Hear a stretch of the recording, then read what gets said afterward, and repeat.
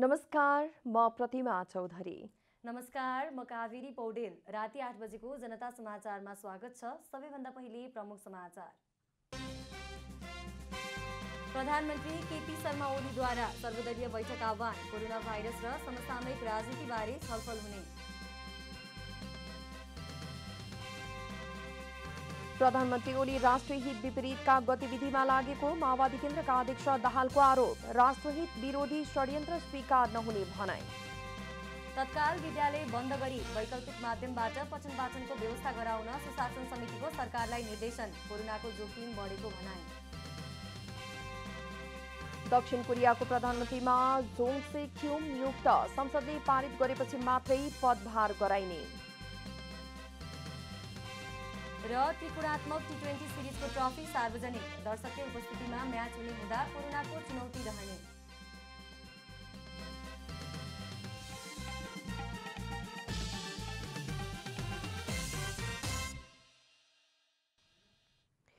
अब पुरा समाचार।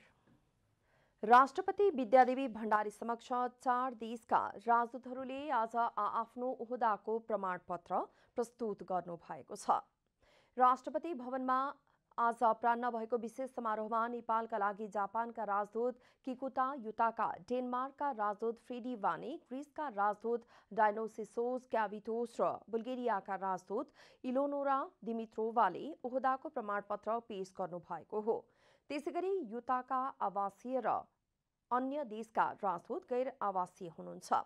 सो अवसरमा परराष्ट्र मन्त्री प्रदीप कुमार घेवाली प्रधान सेनापति पूर्णचन्द्र थापा परराष्ट्र सचिव भरतराज पौड्याल लगायत राष्ट्रपतिको कार्यालय र परराष्ट्र मन्त्रालयका उच्च अधिकारीहरूको उपस्थिति रहेको थियो। प्रधानमन्त्री केपी शर्मा ओलीले शनिबार सर्वदलीय बैठक बोलाउनु भएको छ। कोरोना भाइरसको महामारी र समसामयिक राजनीतिक विषयमा छलफल गर्न भनी प्रधानमन्त्री ओलीले बालुवाटारमा शनिबार बिहान एघार बजे सर्वदलीय बैठक बोलाउनु भएको प्रधानमन्त्रीको सचिवालयले जनाएको छ। बैठकमा संसद अधिवेशन कोरोना महामारी रोकथाम र नियन्त्रणका लागि चाल्नुपर्ने कदम लगायतका विषयमा छलफल हुने पनि सचिवालयले जनाएको छ। बैठकमा संसदमा प्रतिनिधित्व गर्ने राजनीतिक दलका शीर्ष नेताहरूलाई बोलाइएको छ। नेपाल कम्युनिस्ट पार्टी माओवादी केन्द्रका अध्यक्ष पुष्पकमल दाहालले प्रधानमन्त्री केपी शर्मा ओली राष्ट्रिय हित विपरीतका गतिविधिमा लागेको आरोप लगाउनु भएको छ। आज बागमती प्रदेश कराते च्याम्पियनसिप दुई हजार एक्काइस कार्यक्रमलाई सम्बोधन गर्दै अध्यक्ष दाहालले प्रधानमन्त्री ओलीबाट देशलाई बन्धकी राख्ने तथा राष्ट्रिय हित विपरीतका गतिविधि गर्ने काम भएको बताउनु भएको हो।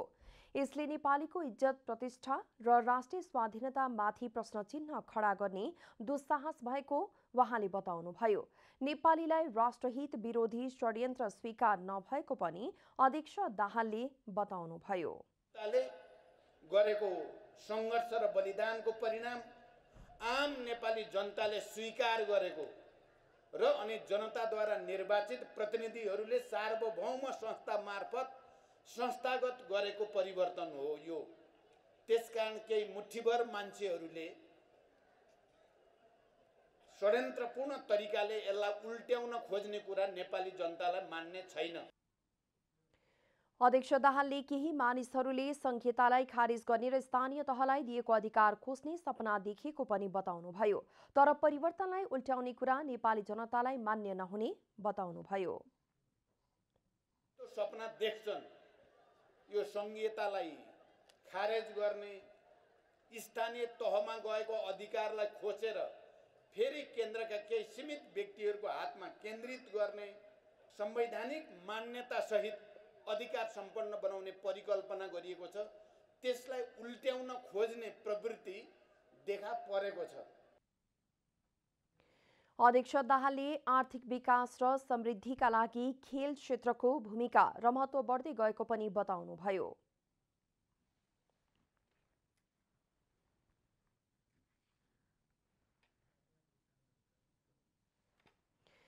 सर्वोच्च अदालतको न्यायाधीशमा सिफारिस हुनुभएका नहकुल सुवेदी र कुमार चुडाल संसदीय सुनवाई समितिबाट अनुमोदित हुनुभएको छ।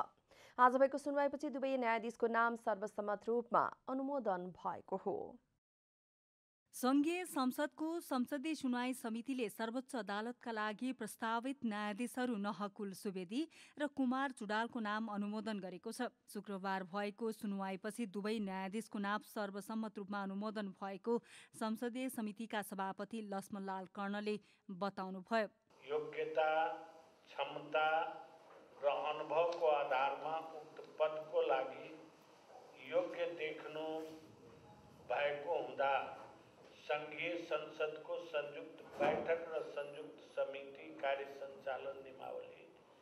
दुई हजार पचहत्तरको नियम छब्बिसको उपनियम पाँच बमोजिम उल्लेखित पदमा प्रस्तावित डाक्टर श्री कुमार चुराल श्री नुकुल सुमेदीको नाम सर्वसम्मतिले अनुमोदन गर्ने निर्णय भएको छ सुनवाई समितिमा प्रस्तावित न्यायाधीश चुडालले आफ्नो कार्ययोजना प्रस्तुत गर्नुभएको थियो तर सांसदहरूले उहाँको कार्ययोजना कार्यान्वयन हुनेमा पनि आशंका व्यक्त गर्दै नागरिकमा अदालतप्रति आशंका र अविश्वास बढेको भन्दै सुधारको योजना पनि माग गरेका थिए।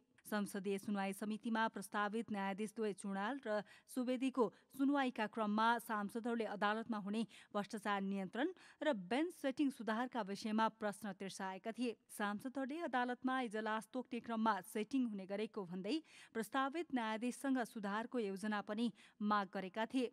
सांसद राजेन्द्र श्रेष्ठले बेन्च स्वेटिङ अन्त्यका लागि के योजना छ भने प्रस्तावित न्यायाधीश चुनावलाई प्रश्न गर्नुभएको थियो। सांसद सुरेन्द्र पाण्डेले अदालतमा भ्रष्टाचार कसरी नियन्त्रण गर्नुहुन्छ भने चुनावलाई प्रश्न गर्नुभएको थियो। सांसद भीमसेन दास प्रधानले अदालतप्रति मानिसको विश्वास कम भइरहेको भन्दै कसरी विश्वास दिलाउनुहुन्छ भने न्यायाधीश नहकुल सुवेदीलाई प्रश्न गर्नुभएको थियो। सांसदले उठाएको प्रश्नको जवाबमा प्रस्तावित न्यायाधीश नहकुल सुवेदीले सर्वोच्चमा बेन्च स्वेटिङ भन्ने कुरा असङ्गत भएको बताउनु भएको थियो। न्यायाधीशले स्वतन्त्र र निष्पक्ष भएर फैसला गर्यो भने मात्रै अदालतप्रतिको आस्था र विश्वास बढ्दै जाने पनि सुवेदीले बताउनुभयो। पेशी तोक्ने विषयमा अदालत अटोमेसनको प्रणालीमा जान लागेकाले सेटिङका विषयमा शङ्का निराकरण हुने उहाँको भनाइ थियो। अदालतले गर्ने फैसला आदेश वा अदालतको गुणस्तरीयता भनौँ न यो चाहिँ साला वा औसतमा गरेर हुँदैन न्यायाधीशलाई साला खालामा राम्रो गर्ने छुट छैन। औसतमा राम्रो गरेको छु भन्ने छुट छैन। उनासय प्रतिशत राम्रो गरेको थिएँ एउटा चाहिँ त फरक परेछ भनेर भन्ने छुट छैन। त्यो एउटा चाहिँ नि सम्बन्धित पक्षको लागि हन्ड्रेड पर्सेन्ट हुन्छ। त्यसै कारणले हामीले के भन्छ भनेदेखि आकाशै खसे पनि न्याय गर्नुपर्छ। Let heaven fall justice be done भनेर हामीले धेरै पहिलेदेखि भन्ने सुन्ने त्यसलाई मनन गर्ने गरेका छौँ। न्याय परिषदले सर्वोच्च अदालतका न्यायाधीशमा सिफारिस गरेका सुवेदी विरुद्ध पाँच र चुडाल विरुद्ध दुईवटा उजुरी परेका थिए। कमला हमाल काठमाडौँ। कर्णाली प्रदेशका मुख्यमन्त्री महेन्द्र बहादुर शाहीले विश्वासको मत प्राप्त गर्नुभएको छ। सैतिस मत खसेको सांसदमा शाहीले बाइस मत प्राप्त गरी विश्वासको मत पाउनु भएको हो। बाह्रजना सांसद रहेको माओवादीबाट निर्वाचित मुख्यमन्त्री शाहीलाई आफ्नो सत्ता जोगाउन बिस मत आवश्यक थियो। मुख्यमन्त्री शाहीले संसदमा मागेको विश्वासको मतको पक्षमा माधव नेपाल पक्षका सांसदले मुख्यमन्त्री शाहीका पक्षमा मतदान गर्दा उहाँ विश्वासको मत पाउन सफल हुनुभएको हो। शाहीलाई काङ्ग्रेसका छजना सांसदले समर्थन गरेका थिए। एमालेसँग उन्नाइसजना सांसद थिए। शाहीको सत्ता जोगाउने क्रममा एमालेका माधव नेपाल पक्षीय सांसदहरूले फ्लोर क्रस गर्दै मतदान गरेका हुन्। माधव नेपाल पक्षका चार सांसदले शाहीको पक्षमा मतदान गर्नुभएको जनाइएको छ। शुक्रबार भएको मतदानमा एकजना सांसद रहेका राप्रपा तटस्थ बसेको थियो। परराष्ट्र मन्त्री प्रदीप गेवालीले नेपाल र भारतको बीचमा देखिएका सबै समस्यालाई छलफल र संवादबाट आपसी समझदारीमा हल गर्नुपर्ने बताउनु भएको छ। दुई देशबीच एक आपसमा प्रतिस्पर्धी मुलुक नभई मित्र भएकाले कुनै पनि समस्या समाधान गर्नका लागि समस्या नहुने बताउनु भएको छ।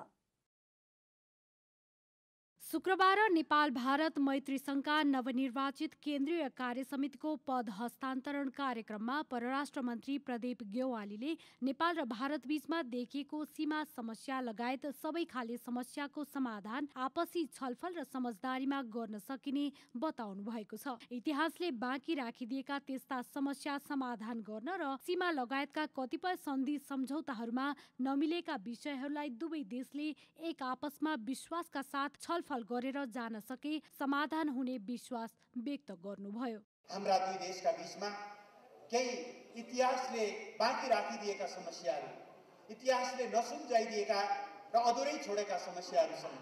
सीमा लगायतका कतिपय सन्धि सम्झौताहरूमा नमिलेका विषयहरू छन् जसलाई एउटा उच्च विश्वासका साथ हामीले छलफल गरेर अगाडि बढाउन सक्छौँ। पोलिटिकल्ली एउटा त्यो अन्डरस्ट्यान्डिङ भयो भने र दुवै देशले एक आपसमा विश्वासका साथ अगाडि बढेर जान सक्यौँ भने मलाई लाग्छ इतिहासले अधुरो छोडेका यी समस्याहरूलाई समाधान गर्न कुनै गाह्रो छैन। मन्त्री गेवालीले कोभिड उन्नाइस विरुद्धको लडाईँमा नेपाल र भारत एकसाथ अगाडि बढेको पनि बताउनुभयो। नेपाल र भारत बीच खुला सिमाना रहेको र मानिसहरूको आवागमनका कारण कोभिड महामारी फैलन नदिन दुवै देशले सहकार्य गरी काम गरिराखेको पनि उहाँले जोड दिनुभयो। कोभिड विरुद्धको हाम्रो लडाइँमा भारतले विभिन्न ढङ्गले सहयोग पुर्याउँदै आएको छ। अरू विभिन्न खालका लजिस्टिक्सहरू मेडिकल इक्विपमेन्ट्सहरू स्वास्थ्य सामग्रीहरूका अलावा हामीले बडो जेनरस सपोर्ट पायौँ भारतबाट। भारतमै उत्पादित कोभिसिल्ड दस लाख डोज भारतले हामीलाई हस्तान्तरण गर्यो र हामीले दक्षिण एसियामै भारत सँगसँगै आफ्नो नागरिकहरूलाई खोप उपलब्ध गराउन सक्यौँ। कार्यक्रममा सञ्चार तथा सूचना प्रविधि मन्त्री पार्वत गुरुङले नेपाल र भारत बीचको सम्बन्धलाई थप बलियो बनाउनु पर्ने बताउनुभयो। हाम्रो त्यो विश्वासहरू नटुट्ने नफुट्ने कहिले पनि हाम्रो बिचको एउटा चिसोपन नआउने किसिमले नै हाम्रो सम्बन्धहरू बलियो भइरह्यो भने यो नेपाल देशको पनि हितमा छ भारत देशको पनि हितमा छ हामी सबैको हितमा हुनेछ। त्यो हित नहुने कामभन्दा बाहेक हामीले अब कुनै पनि सोच कुनै पनि कोणबाट हाम्रा प्रयत्नहरू हुँदैन। मन्त्री गुरुङले प्रधानमन्त्री केपी शर्मा ओलीले लिएको विकासको मोडल नेपालका लागि सबैभन्दा राम्रो भएको दावी समेत गर्नुभएको छ। दिगो विकास तथा सुशासन समितिले तत्काल विद्यालय बन्द गरी वैकल्पिक माध्यमबाट पठन पाठन व्यवस्था मिलाउन सरकारलाई निर्देशन दिएको छ। बालबालिकाहरू कोभिड नाइन्टिन महामारीको जोखिममा परेको भन्दै वैकल्पिक माध्यमबाट पठन पाठन सुचारू गर्न समितिले भनेको हो। राष्ट्रिय सभा अन्तर्गतको दिगो विकास तथा सुशासन समितिको शुक्रबार बसेको बैठकले विद्यार्थीमा कोरोना संक्रमणको पुष्टि भइसक्दा पनि विद्यालय सञ्चालकहरूले विद्यार्थीको भौतिक उपस्थितिमा नै कक्षा सञ्चालन गरिरहेको र त्यसले बालबालिकामा संक्रमणको जोखिम बढाएको निष्कर्ष निकालेको छ। समितिले स्वास्थ्य मन्त्रालयको विज्ञप्ति तथा विज्ञहरूको सुझावलाई ध्यानमा राखेर अत्याधिक जोखिमको वर्गमा रहेका बालबालिका तथा युवाहरूको जीवन रक्षाका लागि तत्काल विद्यालय बन्द गरी भौतिक उपस्थितिमा हुने सिकाइ बन्द गरी अनलाइन वा वैकल्पिक माध्यमबाट पठन पाठनको व्यवस्था मिलाउन सरकारलाई निर्देशन दिएको हो। स्कुलहरूमा कोरोना सङ्क्रमण पुष्टि भएको भइसक्दा पनि चरम लापरवाही गर्ने स्कुलहरूलाई अनुगमन गरी कडा कारवाही गर्ने र विद्यालयमा विद्यार्थीहरू भौतिक उपस्थिति हुने सिकाइ तत्काल बन्द गरी वैकल्पिक विधिबाट वर्तमान अवस्था अनुसार पठन पाठन कडाइका साथ गराउन यो समिति नेपाल सरकारलाई निर्देशन दिन्छ। समिति सदस्यहरूले प्याप्सन एन्ड प्याप्सनहरूको आर्थिक चलखेलमा शिक्षा मन्त्रालय लागेको र निर्वाध विद्यालय सञ्चालन गर्न दिएको आरोप लगाएका छन्। उनीहरूले विद्यालयहरूको अनुगमन गर्नुपर्ने सुझाव पनि दिएका छन्। शिक्षा मन्त्रालयको इन्ट्रेस्ट के छ? भन्दाखेरि यो प्याप्सनवालाहरूसँग जुन हजुरले पैसा लिएको भनेर जसरी चर्चा भइरहेछ यो अहिले विद्यार्थीहरू पैसा असुल्नलाई स्कुल बन्द गर्नु हुँदैन भने प्याप्सनको टोटल स्कुल सञ्चालकहरू लागेको देखिन्छ। त्यसकारण पनि यो चिज तुरन्त स्कुल बन्द गरेर भर्चुअलबाट एउटा स्कुलको यो परीक्षा जे चलाउनु पर्नेछ चलाउनुपर्छ भन्ने मलाई लाग्छ। यस्तै समिति सदस्यहरूले खुला सिमानाका कारण त्यसको असर नेपालमा पनि पर्ने भएकाले स्वास्थ्य सतर्कता मापदण्डलाई कडाइका साथ पालना गर्न र गराउनका लागि नेपाल सरकारलाई निर्देशन दिनुपर्ने धारणा राखेका छन्।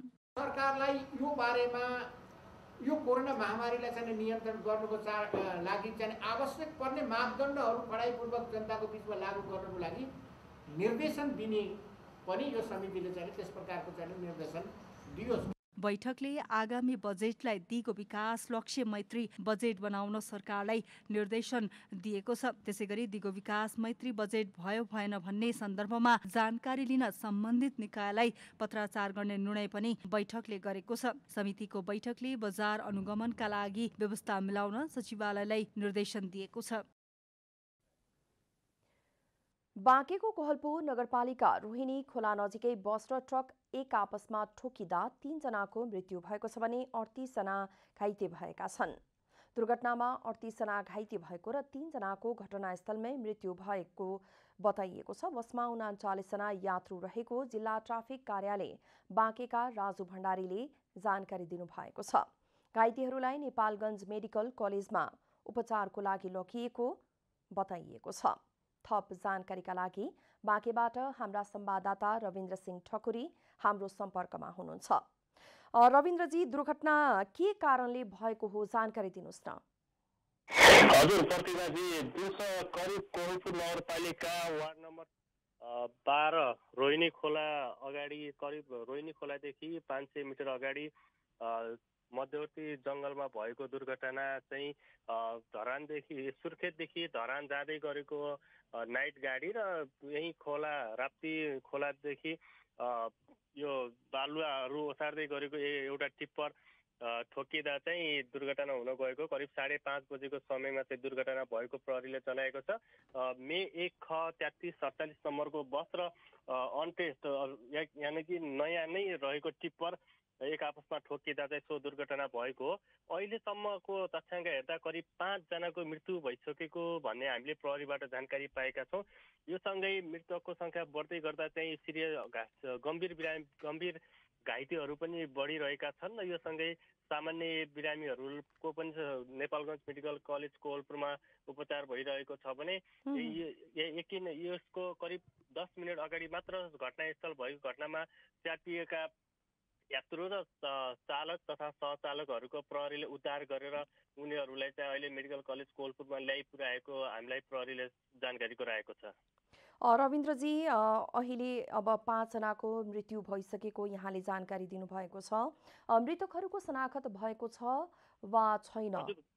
हजुर यो अहिले चाहिँ मेडिकल कलेजमा चाहिँ धेरै नै भिडभाड भएको हुँदा र मृतकहरूको पनि शनाखत भइ नसक्दा चाहिँ भइ नसकेको अवस्था रहेको छ। एक एकिन म अहिले केही समय अगाडि मात्र मेडिकल कलेज कोलपुरमा पुगेको थिएँ र एकजनाको मात्र जिल्ला सुर्खेत घर भएका वर्ष पैँतिसका जीवन कुमार विक भन्ने एकजना व्यक्तिको चाहिँ मृत्यु भएको भन्ने प्रहरीले जनाएको थियो। उनको पर्सबाट चाहिँ एउटा नागरिकताको कार्ड हेरेर चाहिँ हामी उहाँहरूले पत्ता लगाउनु भएको थियो भने योभन्दा अन्य व्यक्तिहरूको भने अहिलेसम्म कुनै पनि शनाखत हुन सकेको छैन। यो यस विषयमा चाहिँ प्रहरी स्थानीय र उहाँहरूका चिनजानका व्यक्तिहरू सम्पर्कमा आएको खण्डमा उहाँहरूको शनाखत गर्न प्रहरी लागि परेको अवस्था रहेको छ।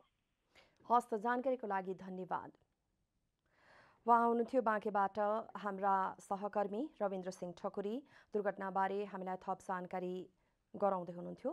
अब बाँकी समाचार। नेपालमा पछिल्लो चौबिस घण्टामा आठ सय छत्तिसजना कोरोना संक्रमित थपिएको स्वास्थ्य मन्त्रालयले जनाएको छ।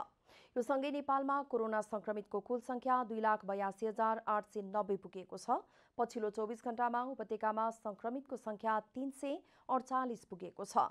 हाल देशभर पाँच हजार आठजना सक्रिय संक्रमित रहेका छन्। पछिल्लो चौबिस घण्टामा कोरोनाबाट थप चारजनाको मृत्यु भएको स्वास्थ्य मन्त्रालयले जनाएको छ। देशभर हालसम्म कोरोनाबाट ज्यान गुमाउनेको संख्या तीन हजार सत्तरी पुगेको छ।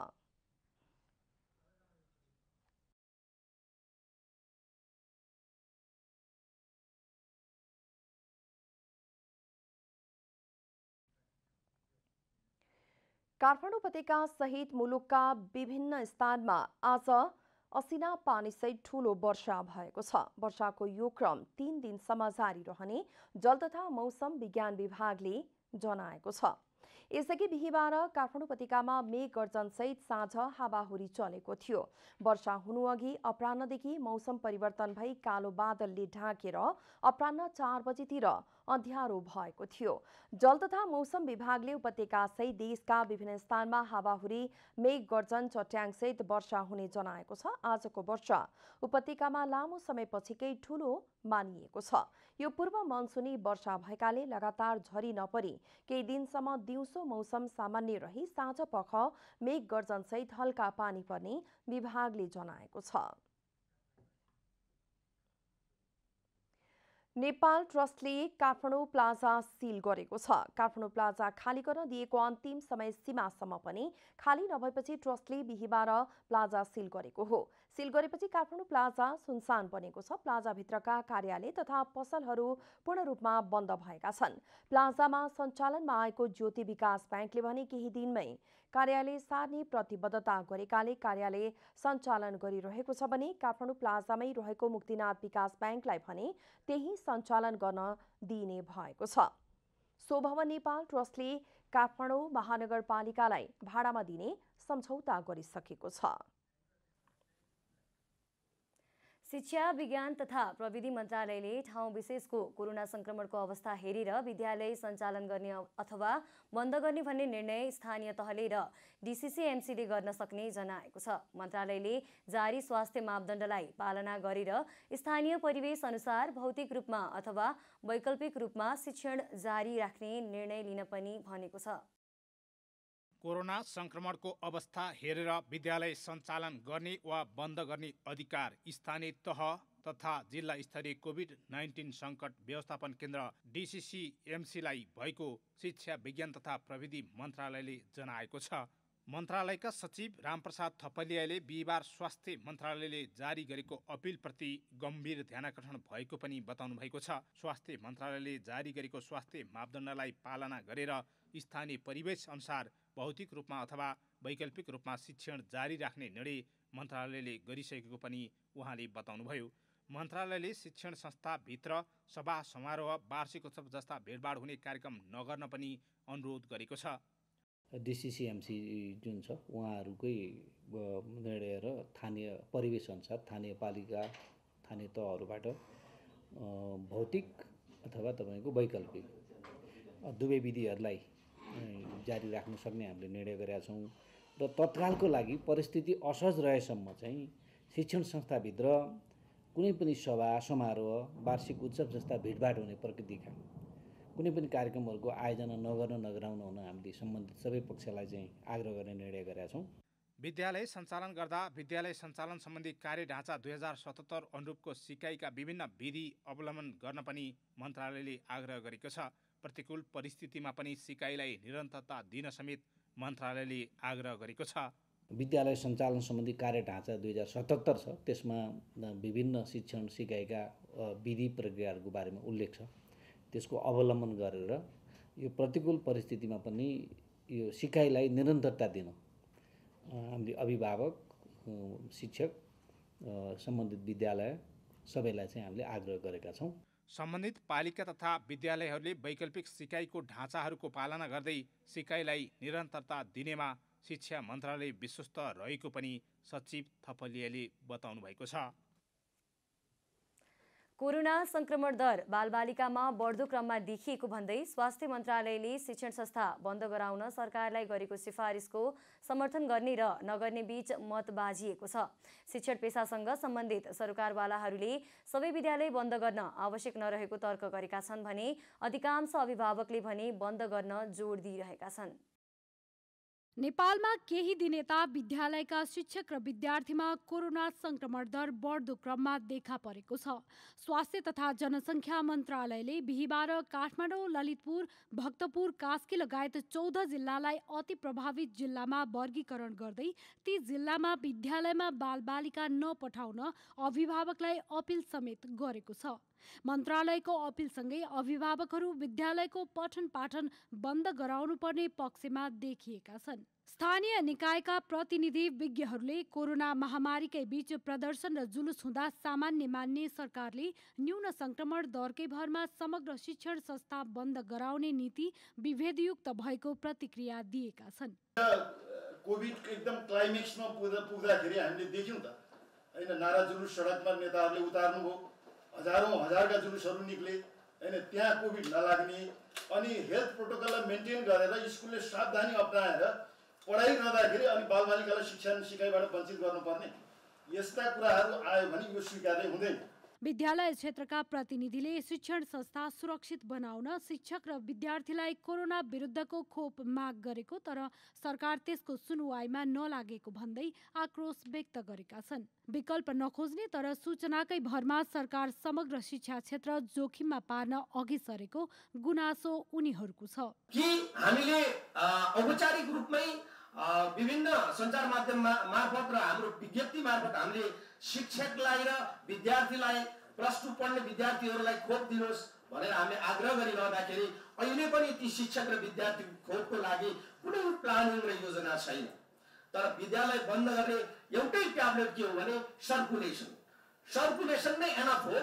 बालबालिकाको स्वास्थ्यमा खेलवाड हुनु हुँदैन संक्रमण देखिएका विद्यालय केही दिनका लागि बन्द गरी संक्रमण नभेटिएका विद्यालयमा स्वास्थ्य मापदण्ड कडाइका साथ पालना गर्दै खुलाउन पर्ने कतिपयको सुझाव छ। क्यामेरा ब्युरोका साथ रूपा घिमिरे काठमाडौँ। संसदीय समितिले सुपारी आयातमा भएको भनिएको नीतिगत भ्रष्टाचारको अध्ययन गर्न पाँच सदस्यीय उपसमिति गठन गरेको छ। राष्ट्रिय सभा अन्तर्गतको दिगो विकास तथा सुशासन समितिको शुक्रबार बसेको बैठकले सुपारी निर्यातमा भएको भनिएको नीतिगत भ्रष्टाचारबारे अध्ययन गर्न रमेश जङ रायमाझीको संयोजकत्वमा पाँच संसदीय उपसमिति गठन गरेको हो। सरकारको नजिकका व्यापारीलाई मन्त्रीस्तरीय निर्णयबाट पच्चिस हजार मेट्रिक टन सुपारी आयात गर्न अनुमति दिइएको बारे समितिका समितिमा सांसदहरूले प्रश्न उठाएपछि यसबारे अध्ययन गर्न उपसमिति गठन गर्ने निर्णय भएको हो। सुपारीमा भएको भनिएको नीतिगत भ्रष्टाचारबारे अध्ययन गर्न माननीय रमेशजङ रायमाझीको संयोजकत्वमा पाँच सदस्यीय समिति गठन गर्ने निर्णय गरिएको छ। त्यसअघि समिति समिति सदस्य रायमाझीले सुपारी निर्यातमा नीतिगत भ्रष्टाचार भएको भन्दै त्यसबारे अध्ययन गर्न समिति सभापतिको ध्यानकर्षण गराएका थिए। खपत गर्नलाई ल्याएको होइन। त्यो भारत यहाँ ल्याएको पेपर देखाउने भारतमा व्यक्तको लागि। यो विराटको बोर्डर र कागज भिडाको बोर्डर त्यो काममा प्रयोग गरिन्छ। र कसैलाई यो विषय विषयलाई मतलब चार घन्टा डिपेट गरे हुन्छ। म तयार छु। यसको बारेमा मैले बुझेको छु। राम्रो पोलिसी करप्सनको विषयमा हामीले चाहिँ निगरानी गर्ने खबरदारी गर्ने निर्देशन गर्ने त्यो अधिकार यो समितिले छ। सुपारी आयातका लागि दिइएको अनुमतिबारे बुझ्नका लागि सम्बन्धित निकायलाई पत्रचार गर्ने निर्णय पनि बैठकले गरेको छ।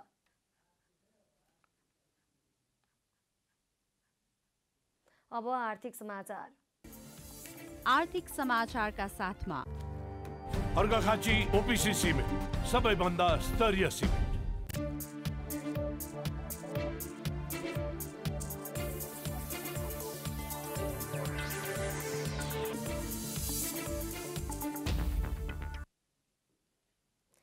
करदातालाई कर तिर्ने वातावरण निर्माण गर्ने करदाता सचेतना अभियानलाई प्रभावकारी बनाउने उद्देश्यका साथ काठमाडौँ नगरपालिकाले आजदेखि सडक नाटक सुरु गरेको हो। महानगरपालिकाले काठमाडौँ महानगरपालिकाले करदाता सचेतना अभियानलाई प्रभावकारी बनाउन शुक्रबारदेखि सडक नाटक सुरु गरेको छ। करदातालाई दबाब दिएर नभई सकारात्मक सन्देशसहित कर तिर्ने वातावरण निर्माण होस् भन्ने हेतुले महानगरपालिकाले आनुसुकी घरबेटी बा सडक नाटक सुरु गरेको हो। महानगरपालिकाले पहिलो चरणमा काठमाडौँ महानगरपालिका भित्रका बसन्तपुर कालीमाटी कलङ्की चाबेल गौशाला नयाँ बानेश्वर लगायतका दस स्थानमा सडक नाटक गर्न लागेको हो। शुक्रबार बसन्तपुर कालीमाटी र कलङ्कीमा सडक नाटक भएको छ। सडक नाटक मार्फत कर तिर्दा हुने फाइदा र नतिर्दा हुने बेफाइदाको विषयलाई देखाइएको छ। काठमाडौँ महानगरपालिकाले तपाईँ जस्तो घरबेटीहरूको लागि भनेर त कति धेरै सेवा सुविधाहरू दिएको छ नि त। तपाईँहरू पनि आफू जानु पर्यो नि समयमा आफ्नो वडा कार्यालय जाने आफूलाई समस्या परेको कुराहरू राख्ने त्यस्तो गर्नुभयो भने त तपाईँले अहिले यसरी बिच बाटोमा यसरी एकले अर्कालाई के? अरू नचाहिने आरोप लगाउन पाइँदैन उसमा शान्त भित्रमा नै तपाईँले आफूले तिर्नुपर्ने बहाल कर सम्पत्ति कर तिर्नुभयो भनेदेखि तपाईँलाई त्यसमा कुनै पनि हर्जना जरिवाना केही पनि लाग्दैन के? काठमाडौँ महानगरपालिकाका राजस्व विभाग प्रमुख डाक्टर शिवराज अधिकारीले करदातालाई कर र दबावमा कर तिर्नुभन्दा स्वत स्फूर्त रूपमा कर तिर्नुपर्छ भन्ने अभियान अन्तर्गत सडक नाटक मञ्चन गरिएको बताउनुभयो। कानुनमा कर सम्बन्धी के व्यवस्था छ? कर कसरी तिर्नुपर्छ? समयमै कर तिर्दा के कस्तो छुट पाउन सकिन्छ भन्ने कुरालाई केन्द्रित गरेर सडक नाटक गरिएको पनि उहाँले बताउनुभयो। करदाताहरूलाई हामीले प्रेसरमा भने कि अलिकति जानकारी दिएर स्वतः स्फूर्त रूपमा कर तिर्न आउनुहोस्। हामीले यो छुट पनि दिएका छौँ। कर तिर्यो भने हाम्रो सिटी विकासको लागि फाइदा हुन्छ भन्ने कुरा सचेतनामूलक कार्यक्रमहरू। महानगरपालिकाले पहिलो पटक सडक नाटक मार्फत कर सम्बन्धी सचेतना फैलाउन लागेको पनि अधिकारीले जानकारी दिनुभयो। पहिलो चरणमा आर्थिक कारोबार बढी हुने क्षेत्रमा बजारमा नाटक देखाइने र बिस्तारै सबै स्थानमा नाटक गरिने उहाँले बताउनुभयो। नाटक मार्फत करदातालाई कर तिर्नको लागि जागरुक गराउने मात्र नभई तिरेको कर राज्यले कसरी सदुपयोग गर्छ भन्ने देखाउन पनि खोजिएको छ। अब खेलकुद समाचार।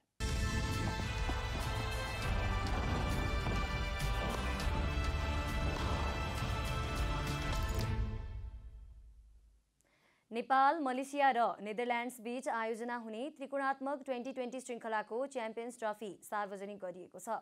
शनिबारबाट कृतिपुरस्थित त्रिभुवन विश्वविद्यालयका विद्यालयमा आयोजना हुने प्रतियोगिताको ट्रफी नेपालका कप्तान ज्ञानेन्द्र मल्ल नेदरल्यान्ड्सका कप्तान पिटर सिलर र मलेसियाका कप्तान अजिजले संयुक्त रूपमा ट्रफी सार्वजनिक गरेका हुन्। कोरोना भाइरसको संक्रमण दर फैलिने त्रासका बीच पनि आयोजना हुन लागेको श्रृङ्खलामा महामारीबाट जोगिन होटलदेखि मैदानसम्म सबै प्रावधान अपनाइएको श्रृङ्खलाका निर्देशक माधव कर्मचारीले बताउनुभयो। यस्तै क्यानका महानिर्देशक रौनक मल्लले भोलिबाट आयोजना हुन लागेको श्रृङ्खला सम्पन्न गर्नु निकै चुनौतीपूर्ण रहेको बताउनुभयो। कोरोनाको महामारीको चपेटामा पनि आयोजना हुने श्रृङ्खलामा दर्शक दीर्घाको लागि टिकटको व्यवस्था मिलाइएको महानिर्देशक मल्लले बताउनुभयो। स्वास्थ्य सुरक्षा मापदण्ड र अनिवार्य रूपमा सेनिटाइजर र मास्कको प्रयोग गर्न दर्शकहरूलाई निर्देशन दिने उहाँले बताउनुभयो। प्रतियोगितामा सहभागी सबै खेलाडीको कोरोना परीक्षण भइसकेको श्रृङ्खलाका निर्देशक माधव कर्मचारीले जानकारी दिनुभयो। श्रृङ्खलामा शनिबार पहिलो खेल आयोजक नेपाल र भ्रमणकारी टोली नेदरल्यान्ड्स बीच हुनेछ। अब मौसम समाचार।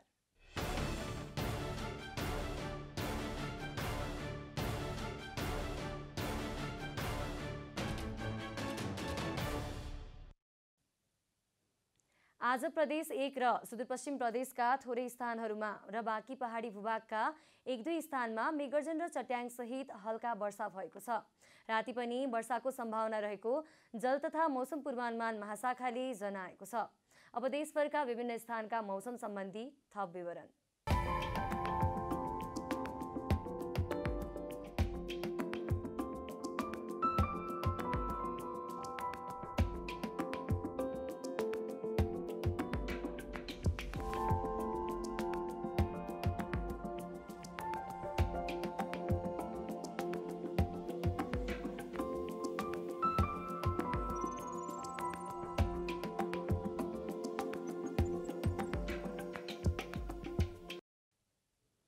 अन्त्यमा आजको डायरी।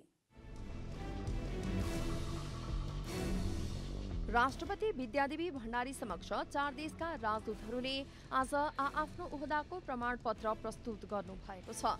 आज अपरान्न भएको विशेष समारोहमा नेपालका लागि जापानका राजदूत किकुता युटाका डेनमार्कका राजदूत फ्रेडी वाने ग्रिसका राजदूत डाइनोसिसोज क्याबिटोस र बुल्गेरियाका राजदूत इलोनोरा दिमित्रोभाले ओहदाको प्रमाणपत्र पेश गर्नु भएको हो प्रधानमन्त्री केपी शर्मा ओलीले शनिबार सर्वदलीय बैठक बोलाउनु भएको छ।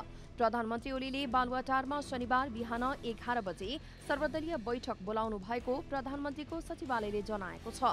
बैठकमा संसद अधिवेशन कोरोना महामारी रोकथाम र नियन्त्रणका लागि चाल्नुपर्ने कदम लगायतका विषयमा छलफल हुने पनि सचिवालयले जनाएको छ। नेपाल कम्युनिस्ट पार्टी माओवादी केन्द्रका अध्यक्ष पुष्पकमल दाहालले प्रधानमन्त्री केपी शर्मा ओली राष्ट्रिय हित विपरीतका गतिविधिमा लागेको आरोप लगाउनु भएको छ। अध्यक्ष दाहालले प्रधानमन्त्री ओलीबाट देशलाई बन्धकी राख्ने तथा राष्ट्रिय हित विपरीतका गतिविधि गर्ने काम भएको बताउनु भएको छ। यसले नेपालीको इज्जत प्रतिष्ठा र राष्ट्रिय स्वाधीनतामाथि प्रश्न चिन्ह खडा गर्ने दुस्साहस भएको उहाँले बताउनुभयो। दक्षिण कोरियाको प्रधानमन्त्रीमा जोङ से क्युम नियुक्त हुनुभएको छ? राष्ट्रपति मुन जे इनले नयाँ प्रधानमन्त्रीको रूपमा क्युमलाई नियुक्त गर्नुभएको अन्तर्राष्ट्रिय समाचार संस्था रोइटर्सले जनाएको छ। यसअघि चार पटकसम्म विधायक रहिसकेका क्युम पूर्व आन्तरिक मन्त्री समेत हुनुहुन्छ। नेपाल मलेसिया र नेदरल्यान्ड्स बीच आयोजना हुने त्रिकोणात्मक ट्वेन्टी ट्वेन्टी श्रृङ्खलाको च्याम्पियन ट्रफी सार्वजनिक गरिएको छ। शनिबारबाट किर्तिपुर स्थित त्रिभुवन विश्वविद्यालयमा आयोजना हुने प्रतियोगिताको ट्रफी नेपालका कप्तान ज्ञानेन्द्र मल्ल नेदरल्यान्ड्सका कप्तान पिटर सिलर र मलेसियाका कप्तान अजिजले संयुक्त रूपमा ट्रफी सार्वजनिक गरेका हुन्। श्रृङ्खलामा भोलि पहिलो खेल आयोजक नेपाल र भ्रमणकारी टोली नेदरल्यान्ड्स बीच हुनेछ।